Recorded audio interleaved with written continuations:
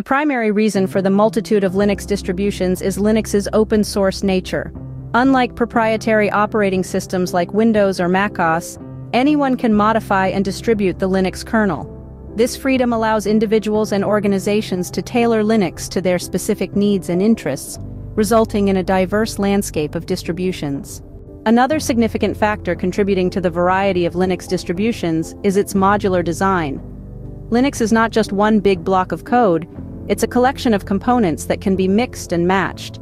The kernel is the core, but other elements like desktop environments, software packages and utilities can be customized or swapped out.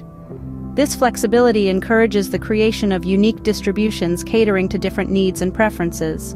Each Linux distribution or distro is designed with a specific user base in mind. Some prioritize stability and ease of use, making them ideal for beginners. Others focus on advanced features and bleeding-edge software, satisfying the needs of seasoned tech enthusiasts.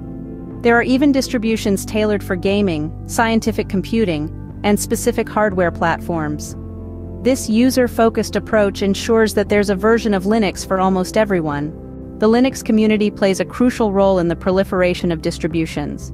Developers worldwide contribute to existing distros or create new ones, resulting in a constant influx of options and innovations. This community-driven development keeps the Linux ecosystem vibrant and evolving. Unlike Windows or macOS, Linux has no central authority controlling its development. It is a communal project, allowing for experimentation and the creation of niche distros that might not exist in a more regulated environment. This lack of central control contributes to the diversity of Linux distributions.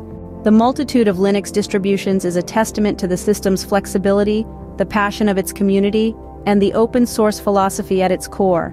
It offers endless possibilities, with the perfect distro waiting to be discovered by each user. The number of distros is always changing, with new ones emerging and others fading away. Choosing the right distro depends on technical skills, desired features, and intended use.